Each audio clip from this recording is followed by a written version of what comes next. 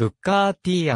ザ・ MG's は、アメリカ合衆国南部テネシー州メンフィスにて、結成された、ソウル、R&B のインストゥルメンタルグループ。ローリングストーンの選ぶ、歴史上最も偉大な100組のアーティストにおいて、第93位。スタックスレコード専属のスタジオバンドとして、オルガンのブッカー T・ ジョーンズを中心に、ギターのスティーブ・クロッパー、ベースのルイス・スタインバーグ、ドラムのアル・ジャクソンにより結成された。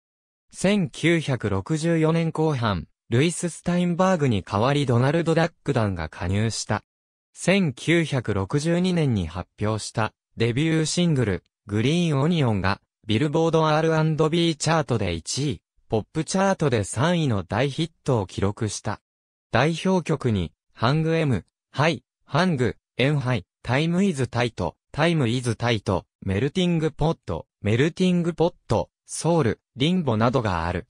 また、オーティス・レディング、ジョニー・テイラーらスタックス所属アーティストや、ウィルソン・ピケット、サム&デイヴらのスタックススタジオにおけるレコーディングでは演奏を担当した。ジョニー・テイラーのフーズ・メイキン・ラブなどは彼らがバッキングを務めた代表的な曲である。スティーブ・クロッパーは1968年にビルボード R&B ポップ両チャートで1位を記録したオーティス・レディング、ドック・オブ・ザ・ベイやエディ・フロイドのノック・オン・ウッドの作曲を共作しているサムタイムズ。1971年のメルティングポットを最後に解散したが、77年、94年に再結成している。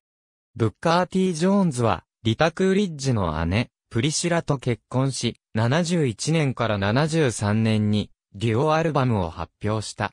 アル・ジャクソンは、75年に、殺人事件の被害者となり死亡している。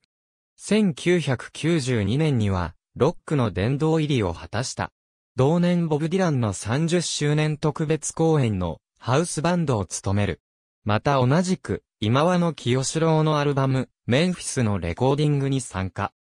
清志郎の日本武道館公演及び、全国9カ所のツアーにも参加し、ブッカー T& ザ・MG's、オーティス・レディング、RC サクセション等の曲も演奏。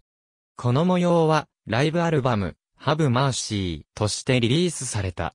2012年5月、ドナルド・ダックダンは来日公演の際に休止している。ありがとうございます。